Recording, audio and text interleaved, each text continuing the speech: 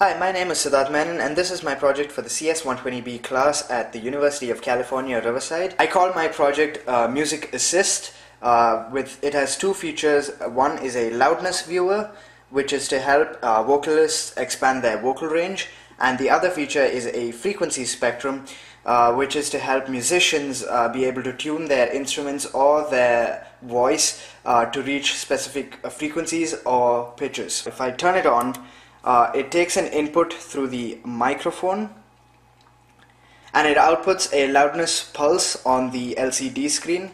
So if we were to make a sound into the microphone, uh, it would pulse uh, based on how loud it is.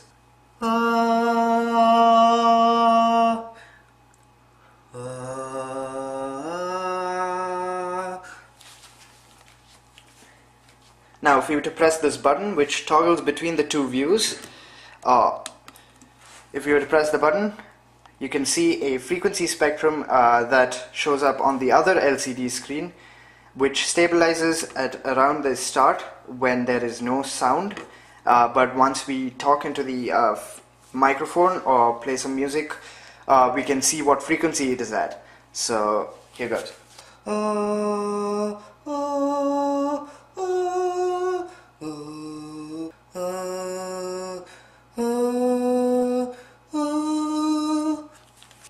That is my project for CS120B. Thank you.